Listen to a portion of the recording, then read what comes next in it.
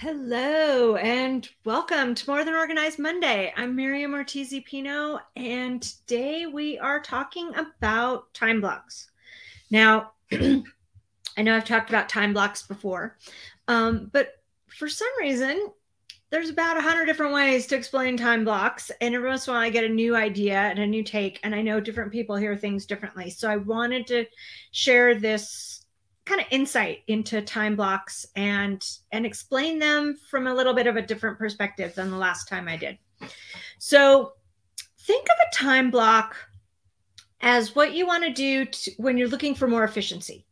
It's really the easiest thing you can do to make things more efficient. And there's a couple of reasons for that.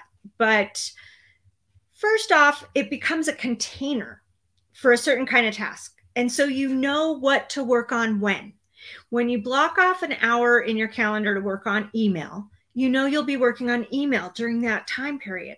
And so your brain wraps its head around working on um, email for that duration of time. So it's a focused work session devoted to a certain kind of task.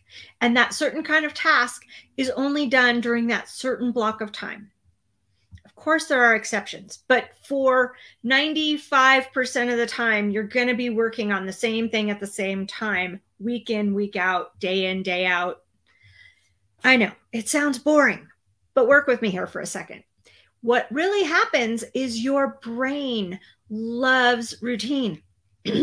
You can do all kinds of things without having to think through step by step by step because there are um, already routines and subroutines written into your brain so you don't have to expend the energy of deciding what to work on when and next. It's already built into that little subroutine. So your brain uses less energy and you get more done more quickly and efficiently. So it's a super effective way of getting done those routine tasks that are kind of boring anyway. So for instance, email, making calls, sometimes fun, sometimes not. Um, processing your your banking or your your um, invoicing, um, grouping uh, batches together of social media posts, things like that, where you don't have to use your full brain, but you need to get them done and they need to stay consistent. That's what we're doing for time blocks. You don't have to worry about when am I going to do that? You know when you're going to do that. You can schedule things into that time based on the fact that you work on those kinds of things at that time every week.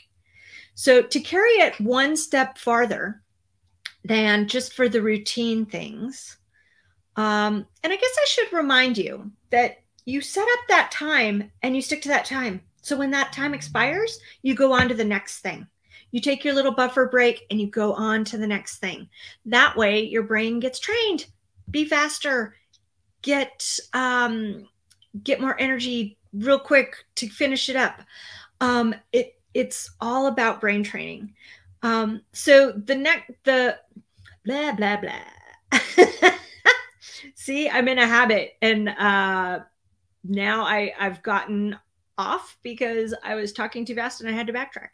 Um, but anyway, so what what you want to do is take it to the next level by doing things like I only schedule doctor's appointments and haircuts and massages and certain errands on Tuesdays because I'm out and about running around anyway.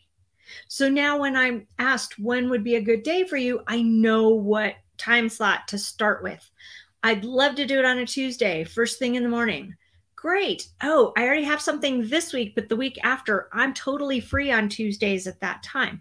So you know that that particular day, that set of time blocks for Tuesdays allows for appointments. It doesn't have to be Tuesday. But you get the idea. You get to start shaping your week by knowing when these time blocks happen. You wouldn't get, um, so a great example is you wouldn't get all hot and sweaty and then not leave yourself enough time to prepare to shoot a video. you would schedule your workout for a different time that day or um, enough buffer time in between to change and freshen up and, and get ready for the video. You don't do them at the same time or in the wrong order. You know what order to do them to save you the most time in the long run. All right. Um, let me just glance at my notes and make sure there's nothing else I wanted to say. Of course, all my technology is doing a little bit funkiness and I don't have my glasses. all right, that's it for time blocks. Let me know what you think. Keep that running list of each of the different kinds of tasks you can put into the time blocks and then just open that list when you're working on that time block.